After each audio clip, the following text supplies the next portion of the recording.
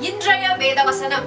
கத்தராகிய இயேசுவை நீ உன் வாயினாலே அறிக்கையிட்டு தேவன் அவரை மரித்தோரிலிருந்து எழுப்பினார் என்று உன் இருதயத்திலே விசுவாசித்தால் ரட்சிக்கப்படுவாய் நீதி உண்டாக இருதயத்திலே விசுவாசிக்கப்படும்.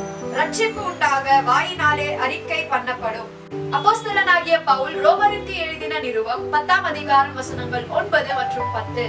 தேவன் தாமே உங்களை ஆசீர்வதிப்பாராக.